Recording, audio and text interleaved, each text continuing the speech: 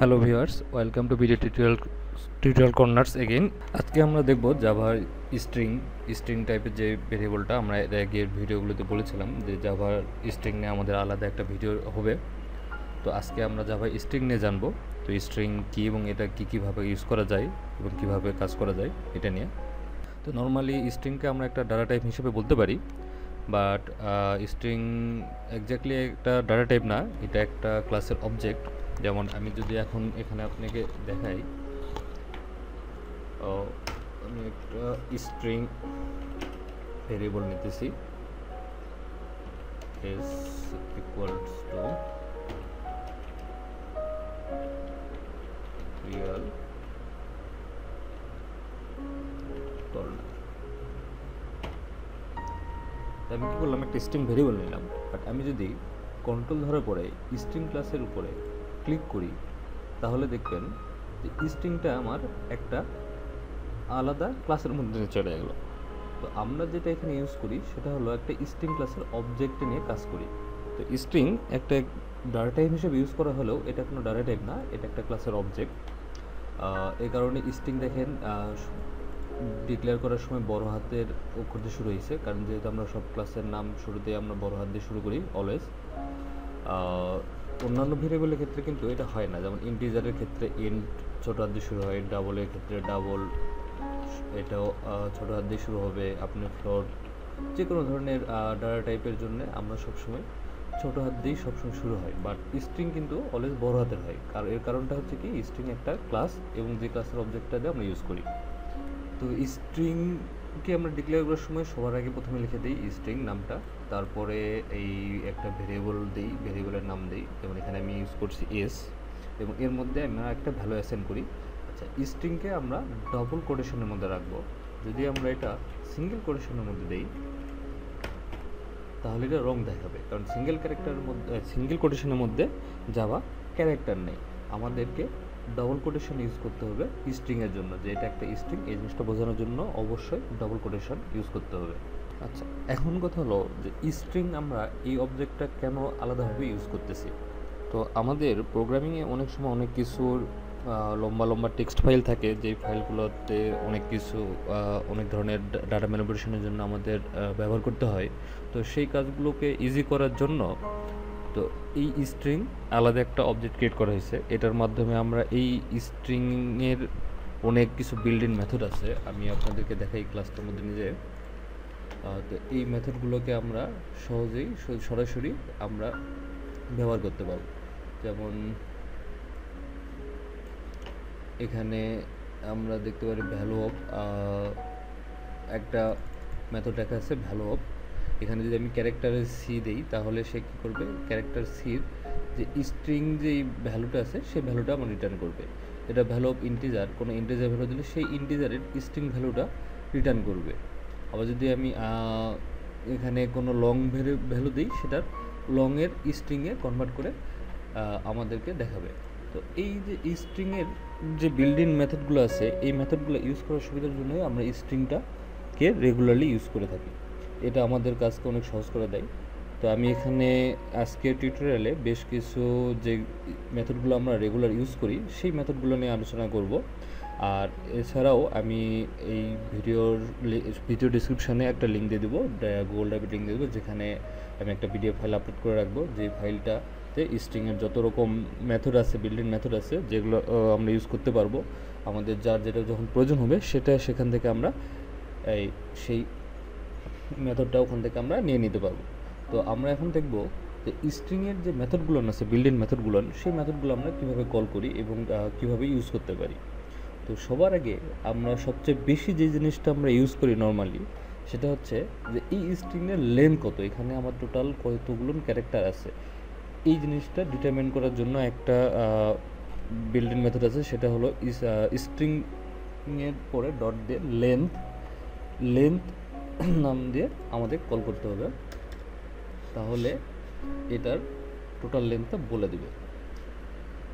So আমরা ওটা একদম প্রিন্ট করে দেখব। System dot code dot print ln আমাদের ভ্যারিয়েবল নাম হচ্ছে এস ডট আমি ডট দেওয়ার পরে দেখেন, এখানে আমার অনেকগুলো সাজেশন দিয়ে দিয়েছে। কারণ এই সবগুলোই এর স্ট্রিংয়ের বিল্ডিং মেথড। বাট আমাদের যখন যেটা প্রয়োজন হবে, তখন সেই জিনিসটা আমরা এখান থেকে নিয়ে নিতে পারব। আমরা এভাবে স্ক্রল করে সিলেক্ট করে নিতে পারি। অথবা সরাসরি আমরা যদি মেথডটার নাম লিখে দিই, তাহলে দেখবেন যে ওটা অটোমেটিকলি সার্চে শর্ট হয়ে চলে আসবে। আমরা লেন্থটাকে প্রিন্ট করে এখন দেখব যে এই টোটাল স্ট্রিংয়ের আমার লেন্থটা কত। আমি যদি এখন রান দিই, তাহলে দেখেন এখানে আঠারো। তো এই জিনিসটা আমি লেন্থটা যদি একটু ছোটো করে দিই, তাহলে আপনাদের কাউন্ট করতে বুঝতে সুবিধা হবে। যেমন আমি এক, দুই, তিন, চার, পাঁচ দিলাম। সো এইটার লেন্থ আসার কথা আমার পাঁচ। আমি এটা এখন রান্না দেখব। দেখেন, এটার আউটপুটের লেন্থ আসছে কত? ফাইভ আচ্ছা এখন যদি আমি এর মাঝখানে একটা স্পেস দিয়ে দিই, তাহলে কিন্তু এটার লেন্থটা এখন চেঞ্জ হয়ে যাবে। দেখেন, ছয় হয়ে গেছে। কারণটা হলো কি? স্পেসও একটা ক্যারেক্টার যেটা আমাদের এই এই স্ট্রিংয়ের মধ্যে কন্টেন করতেছে। দুই ডবল কোটেশনের মধ্যে আমি যা কিছু লিখব না কেন, প্রত্যেকটা একটা সিঙ্গেল ক্যারেক্টার হিসেবে কাউন্ট হয়। আর স্ট্রিং এর লেন্থ ফাংশনটা করে কি এর মধ্যে টোটাল কতগুলো ক্যারেক্টার আছে, সবগুলো ক্যারেক্টারকে একটা একটা করে কাউন্ট করে, সেই কাউন্ট নাম্বারটা আমাদের রিটার্ন করে। সো লেন্থ মানে হচ্ছে কি, এখানে আমার টোটাল কতগুলো ক্যারেক্টার আছে। সো এক্ষেত্রে হলো কি, আমার এক, দুই, তিন, চার, পাঁচ, আমার পাঁচটা ডিজিট আছে, সেই সঙ্গে একটা স্পেস থাকার কারণে আমার টোটাল লেন্থটা সিক্স দেখাইতেছে। এরকম আমরা স্ট্রিংয়ের লেন্থের পাশাপাশি স্ট্রিংয়ের মধ্যে থেকে আমরা কোনো একটা নির্দিষ্ট ক্যারেক্টার কোন জায়গায় আছে, সেই জিনিসটা আমরা খুঁজে বের করতে পারি।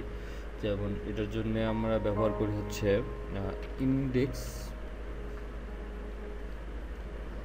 ইন্ডেক্স অফ এখানে আমাদের বলে দিতে হবে যে আমরা কোন স্ট্রিংটা চাইতেছি। ওয়ান আমরা চাইতেছি কি ইন ওয়ান নাম্বার এই ক্যারেক্টারটা এখানে কোথায় আছে সেটার আমি লোকেশনটা চাইতেছি।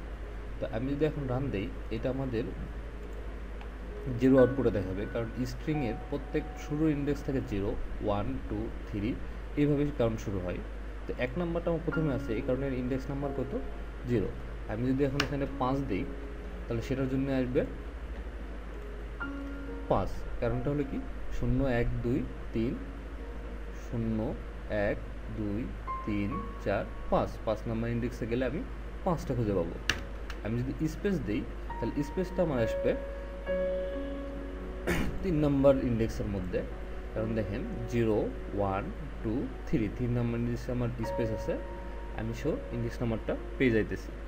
এভাবে আমি কোনো একটা নির্দিষ্ট ক্যারেক্টার বা নির্দিষ্ট কোনো একটা ওয়ার্ড আমি চাইলে এখানে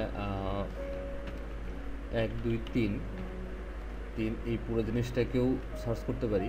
তো এটা সার্চ করার ক্ষেত্রে হবে কি, শুধুমাত্র এখানে আমাদের একটা ইন্ডেক্স নাম্বার দেখাবে, সেটা হলো কি, প্রথম যেই ক্যারেক্টারটা থাকবে এবং এটার যে ইন্ডেক্স নাম্বারটা থাকবে, সেটা আমাদের রিটার্ন করবে।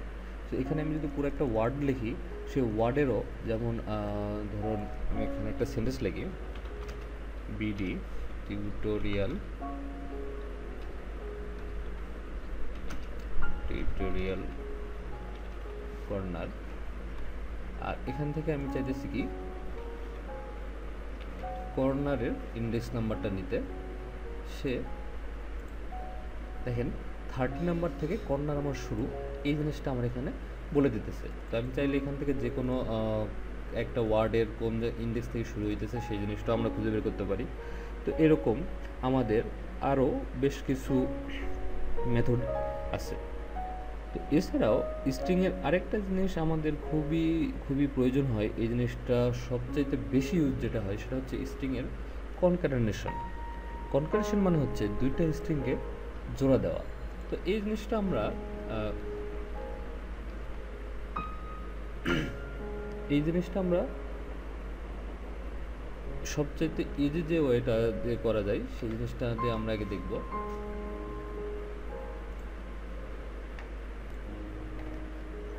তো সবচেয়ে ইজি ওয়েটা হলো যে আমরা এখানে আরেকটা স্ট্রিং ভেরিয়েবল ডিক্লেয়ার করি।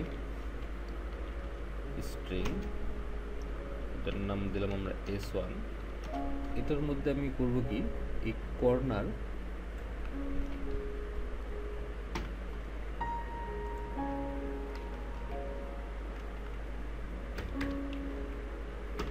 এই স্ট্রিংটা এখানে ঢোকাই দেব।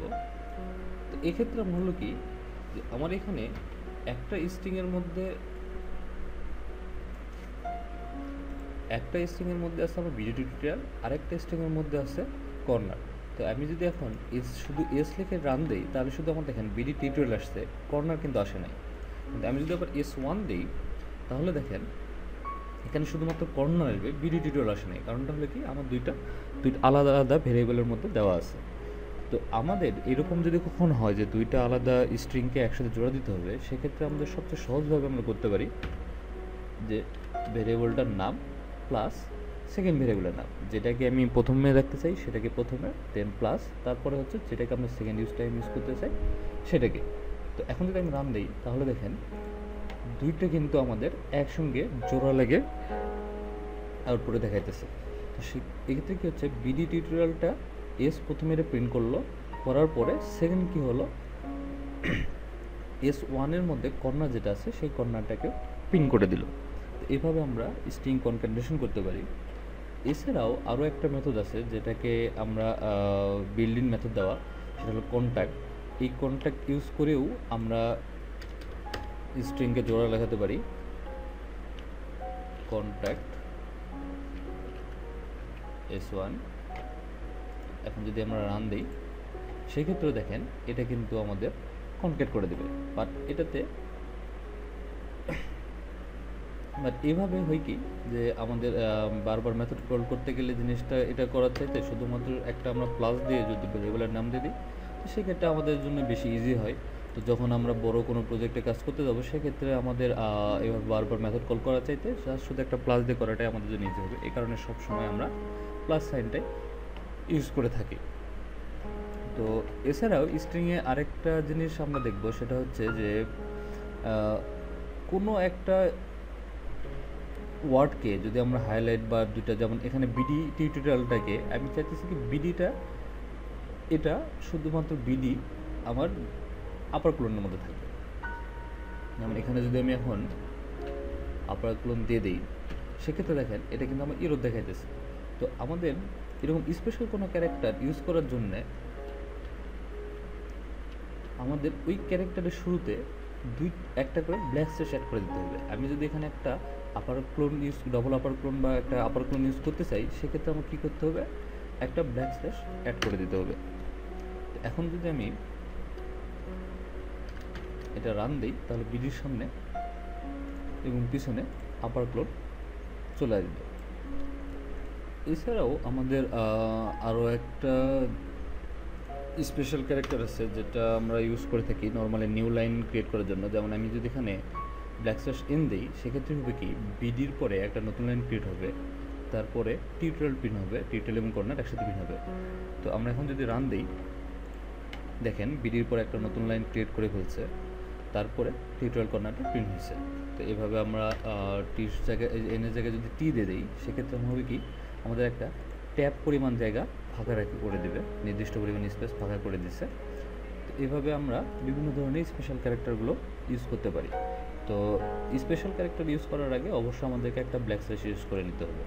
নতুন লাইনের জন্য ব্ল্যাক স্ল্যাশ এন এবং ট্যাপ দেওয়ার জন্য ব্ল্যাক স্ল্যাশ টি কোনো আপার ক্লোন বা ডবল ডবল ক্লোন বা সিঙ্গেল একটা স্পেশাল ক্যারেক্টার প্রিন্ট করার জন্য আমরা তার আগে একটা ব্ল্যাক স্ল্যাশ অ্যাড করে দেবো। তো মোটামুটি যেই মেথডগুলো আমাদের ফ্রিকোয়েন্টলি ইউজ হয়, সেগুলো আমরা এখানে ডিসকাস করে ফেলছি। তো এখন আমরা দেখব যে আরও কিছু যেগুলো বিল্ডিং মেথড আছে, যে স্টিংয়ের মধ্যে। আমি তার একটা লিস্ট করে রাখছি। এই পিডিএফ ফাইলটা আমি গুগল ড্রাইভে আপলোড করে এটার লিঙ্ক ডাউনলোডের লিঙ্কটা দিয়ে দেবো। আপনারা ডিসক্রিপশন থেকে লিঙ্কটা পেয়ে যাবেন এবং ওখান থেকে এটা ডাউনলোড করে নিতে পারবেন। এবং এখানে প্রত্যেকটা মেথডের নাম, যে এই মেথডটা কীভাবে কী নামে কল করতে হবে এবং সেই মেথডটা কী করে এবং এই মেথডটা আমাদের কি রিটার্ন করে, এই সব জিনিস সুন্দরভাবে এখানে লিখে দেওয়া আছে। আপনারা এখানে দেখে দেখে নিতে পারবেন প্রত্যেকটা, প্রত্যেকটার কোনটার কোন কাজ এবং কীভাবে কীভাবে কাজ করে, সমস্ত ডিসক্রিপশানে দিয়ে দেওয়া আছে। আর আপনাদের যদি কোনো নির্দিষ্ট কোনো মেথড বুঝতে সমস্যা হয়, সেক্ষেত্রে আমাদের কমেন্টসে জানাতে পারেন। আমরা আপনাদের প্রবলেমগুলো নিয়ে শুধুমাত্র ওই যে প্রবলেমগুলোর কথা আপনারা বলবেন, সেই প্রবলেমগুলো নিয়ে আলাদা একটা ভিডিও করব, যেখানে প্রত্যেকটা মেথডকে আমরা আলাদাভাবে ডিসকাস করব। তো আজকের জন্য থ্যাংক ইউ সবাইকে। সবাই ভালো থাকবেন এবং ভিডিওতে লাইক কমেন্ট শেয়ার করে আমাদেরকে আরও নেক্সট ভিডিও তৈরি করার জন্য একটু উৎফুল্ল করবেন। সবাইকে ধন্যবাদ।